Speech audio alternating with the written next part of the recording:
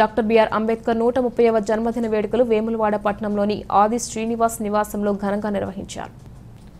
ఈ సందర్భంగా ఆయన మాట్లాడుతూ అంబేద్కర్ చేసిన సేవలను కొనియాడారు. ఈ కార్యక్రమంలో జిల్లా కాంగ్రెస్ కార్యదర్శి చంద్రగిరి శ్రీనివాస్ గౌడ్ సంగస్వామి యాదవ్ ముడికే చంద్రశేఖర్ కూరగాయల కొమరయ్య కనికరపు రాకేష్ నాగుల విష్ణుప్రసాద్ లింగంపల్లి కిరణ్ వస్తాదు కృష్ణగౌడ్ గుడిసే కరుణాకర్ దాసరి ప్రవీణ్ సాబీర్ నక్క సాయి కుమార్ మర్రి పెళ్ళిరాజు తదితరులు పాల్గొన్నారు. చట్టంలో మరి వారికి అభినందనలు ధన్యవాదాలు తెలియజేస్తూ మరి నూట ముప్పై జయంతి ఉత్సవాల సందర్భంగా వారికి ఘనంగా నివాళులర్పించడం జరిగింది. నూట ముప్పై జయంతి ఉత్సవాల సందర్భంగా ప్రజలందరికీ కూడా శుభాకాంక్షలు ఈ సందర్భంగా తెలియజేస్తాము.